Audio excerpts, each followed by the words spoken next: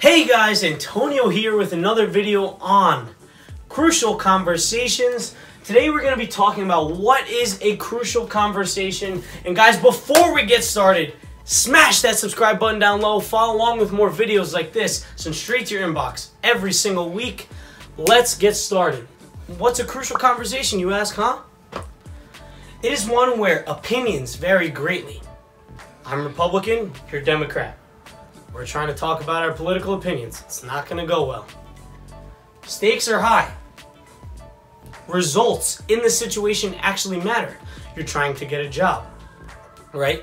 One where you need this amazing raise that'll help you get to the next level. You're trying to land a sale, something where the stakes are very, very high, where you'll get a lot of commission from.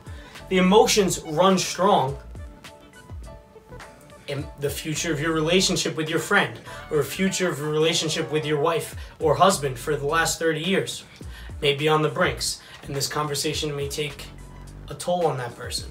Let's take a look at an example of how emotions can come into a conversation and what a crucial conversation may look like.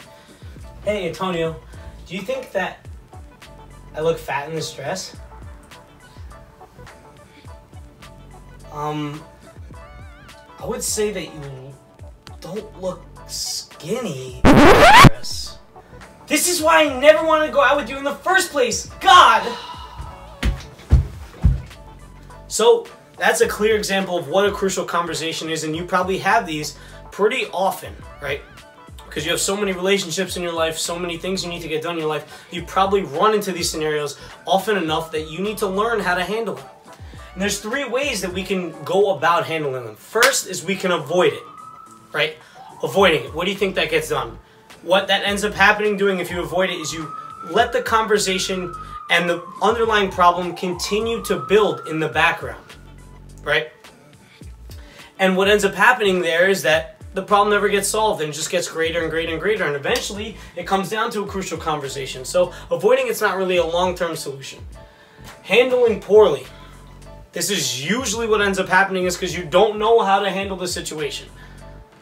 And then the third reason is handling it well.